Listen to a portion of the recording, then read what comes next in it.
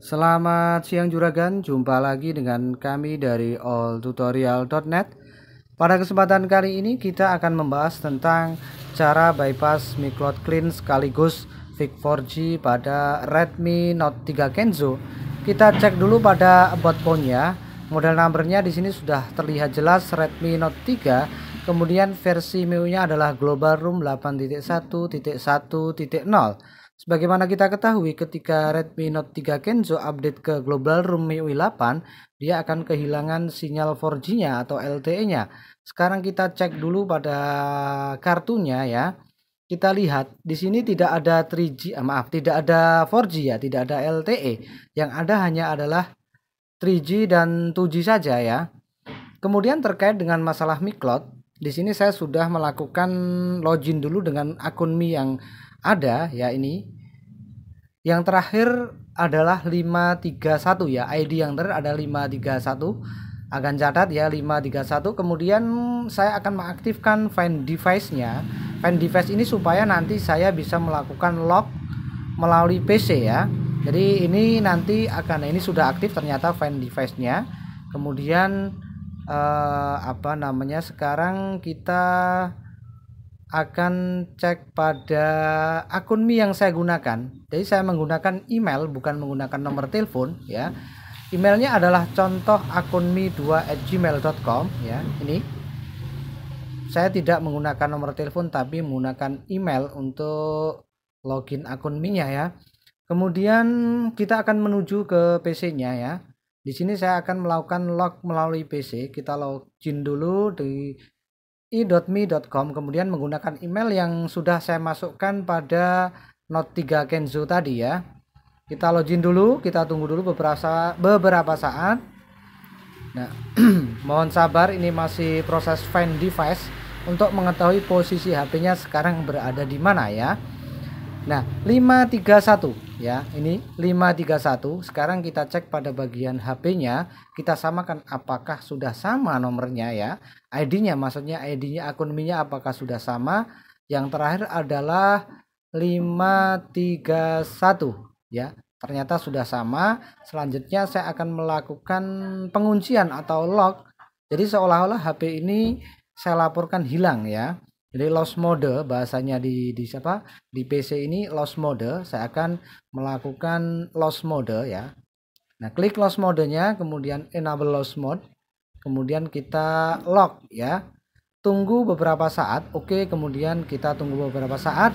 Secara otomatis Redmi Note 3 Kenzo akan terkunci ya. This device is lost ya, artinya HP ini telah hilang ya. HP ini telah hilang sehingga dia secara otomatis terkunci dengan akun Mi ya karena memang saya log dengan PC tadi ya. Nah, untuk melakukan bypass bypass apa namanya bypass Mi Cloud sekaligus VIC 4G, di sini saya sudah menyediakan uh, ROM ya. ROM khusus bypass sekaligus VIC 4G tentunya. Sekarang kita matikan dulu Redmi Note 3 Kenzo-nya dengan menekan dan menahan tombol power yang lama ya. Setelah mati langsung kita susul dengan menekan dan menahan volume bawah. Tombol power jangan dilepaskan.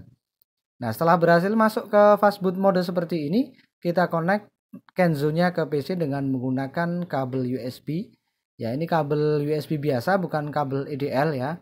Ini kabel USB biasa bukan kabel EDL. Kemudian kita akan menuju ke PC-nya. Di sini adalah Kenzo Mi Cloud Clean plus VIC 4G. Nah ini ROM-nya sudah saya apa namanya saya modif sedemikian rupa supaya bisa melakukan bypass clean sekaligus VIC 4G pada Redmi Note 3 Kenzo. ROM ini basicnya adalah Global ROM 8.1.4.0 jadi bukan ROM distributor ataupun ROM Cina ya murni ROM Global ROM yang sudah saya modifikasi. Kemudian kita klik refresh. Kemudian kita harus flashing melalui mode download. Jadi tidak via fastboot tapi mode download. Kita buka dulu pada device manager. Di sini tujuannya adalah untuk mengetahui apakah nanti berhasil masuk ke 9008 atau tidak ya. Untuk masuk ke 9008 kita akan menggunakan fastboot EDL ya. Fastboot EDL sebentar saya cari filenya dulu. Lupa naruhnya di mana.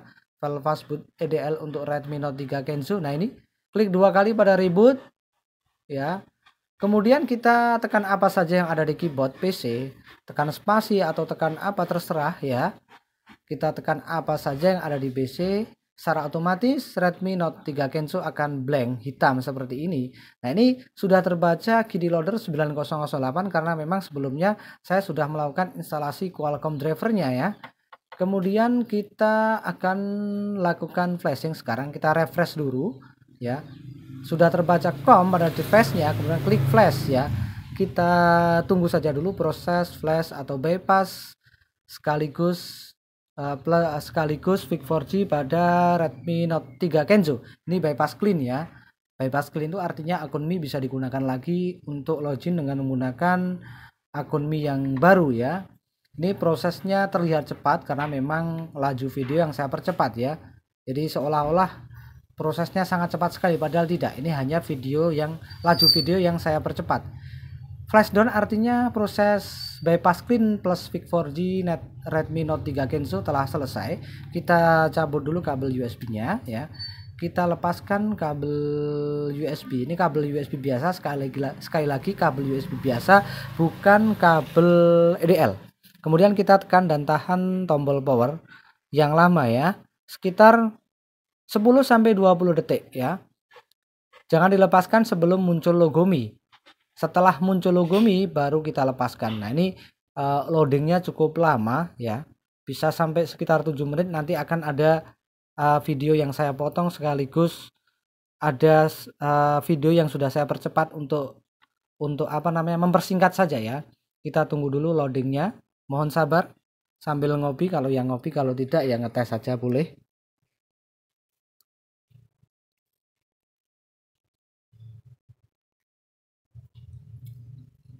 Perlu diketahui pada bagian paling bawah boot animasinya sudah saya ganti dia. Dia alltutorial.net bukan Android. Tapi boot animasi seperti ini tidak mengurangi daripada fungsi ROM-nya. Artinya ROM tetap berfungsi normal ya, tidak menjadi bug atau apa tidak ada. Ini hanya sekedar boot animasi yang saya ganti saja ya. Jadi boot animasinya bukan Android pada umumnya, melainkan saya ganti alltutorial.net pergantian ini tidaklah menjadi masalah artinya tidak mempengaruhi fungsi ROM itu sendiri ya. Nah ini sudah selesai MIUI 8 kita ini kebetulan apa namanya kartunya saya kasih pin ya 1234 unlock SIM. Kemudian kita setting sesuai kebutuhan setting bahasa setting lokasi dan lain sebagainya. Kalau memang perlu dilewati ya dilewati ya. Masih setting regional Google Keyboard Nah, sekarang kita akan connect ke WiFi ya. Connect ke internet 123456 BA ini password daripada 88com atau WiFi 88com. Kemudian apa lagi? Uh, next ya, kita next aja, kita next aja. Selanjutnya kita next. Next lagi dilewati kalau memang perlu dilewati ini sudah masuk ke akun Mi ya di sini kan kosong. Artinya kita bisa menggunakan uh, bisa login lagi dengan menggunakan akun Mi yang baru ataupun akun Mi lama terserah. Kemudian ini kita lewati juga tidak masalah ya. Jadi apa namanya sesuai kebutuhan saja. Mana yang perlu disetting mana yang perlu dilewati. Sudah selesai ini. Nah ini loading apa namanya bagian paling bawah loading apps ini prosesnya juga cukup lama bisa lima menit lebih ini. Untuk mempersingkat kita restart saja ya. Ditunggu juga tidak masalah sih sebenarnya cuman saya males nunggunya ya. Mending saya restart aja supaya nanti eh, apa namanya loadingnya bisa lebih cepat ya. Nah ini terlihat video sudah saya percepat lajunya ya. Kita tunggu dulu masih proses ini mohon sabar. Mohon sabar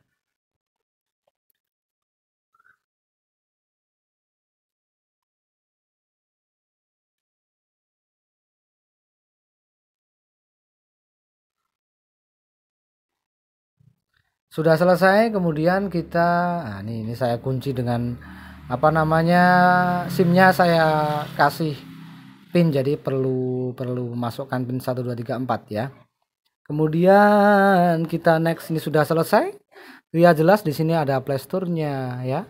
Berarti ini menandakan bahwa uh, merupakan global room ya. MIUI Global Room. MIUI Global Room bukan apa namanya bukan room distributor ataupun room Cina ya. Kemudian setelah terbuka seperti ini kita cek pada pada bagian apa namanya kartunya ya. Ini kan tadi membahas tentang Micloud sekaligus Vic 4G ya. Micloud Clean sekaligus Vic 4G. Kita cek pada kartunya apakah prioritas LTE-nya sudah muncul. Nah, ini sudah muncul LTE-nya ya. Berarti apa namanya? Uh, 4G-nya sudah work atau sudah ada pilihan 4G-nya. Kemudian kita cek pada akun Mi-nya sekali lagi ini akun Mi kosong, kita tinggal login dengan menggunakan akun Mi baru ataupun akun Mi lama. Demikian sampai jumpa dengan tutorial selanjutnya. Selamat siang. Selamat beraktivitas kembali.